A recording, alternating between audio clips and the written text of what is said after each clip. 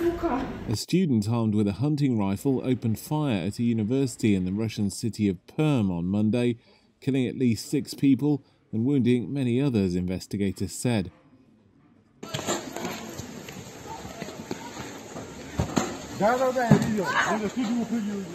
Videos shown on news websites saw panicked students leaping from first floor windows to escape Perm State University, around 800 miles east of Moscow. He started shooting when we were in the smoking area. When we realized what was happening, we started running inside like a herd of sheep.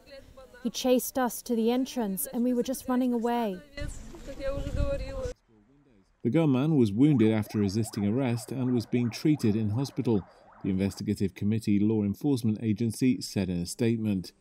The university spokesperson had earlier said the shooter had been, quote, liquidated, but later said he was in police custody. The gunman was identified as a student at the university who'd got hold of the hunting rifle in May, the investigative committee said. Local media identified the gunman as an 18 year old who'd earlier posted an unverified photo of himself on social media, posing with a rifle, helmet, and ammunition. The post indicated that his actions had nothing to do with politics or religion, but were motivated by hatred.